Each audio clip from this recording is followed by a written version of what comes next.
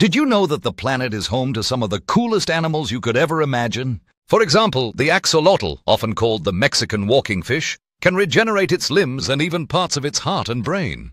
Then there's the mantis shrimp, which possesses a striking punch that can break glass and eyes so complex they see polarized light and even colors humans cannot perceive. The deep-sea Dumbo octopus, with its adorable ear-like fins, floats gracefully in the dark ocean depths, creating a truly mesmerizing sight.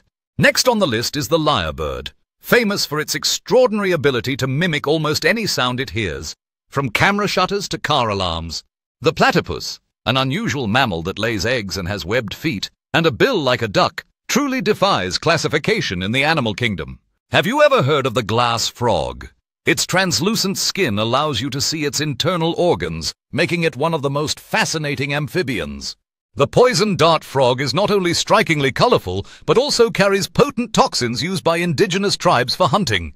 Finally, the axolotl, mantis shrimp, Dumbo octopus, lyrebird, platypus, and glass frog remind us of how wonderfully diverse and mysterious life on Earth really is.